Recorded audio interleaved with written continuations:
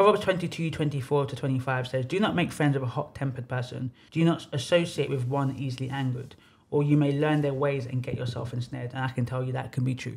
Yeah, I think it's a really good example of just situations that you can be in. Again, sometimes if you have people that are just quick to anger, you know, easily irritable, it can. I'm a genuinely calm person. I've been in a situation where I'm calm for like 10 minutes and this person is just acting in a way that is provoking me. And then I flip. And if you heard the flip, you might think, oh my God, but I was calm. I was holding it in. And when you when you're friends with that person or talk to that person, they can ensnare you in a trap and then you're the one that looks worse. And regardless of who looks worse, you've come out of character. You've done something where I've got to repent. One thing I always say is that I don't like having to repent to God for something that someone else done to me. You offend me, then I cuss you out. I've now got to repent because God's saying, but you shouldn't have done that. If they slapped you, slap, you know, give them your cheek, technically. Like, oh, Lord.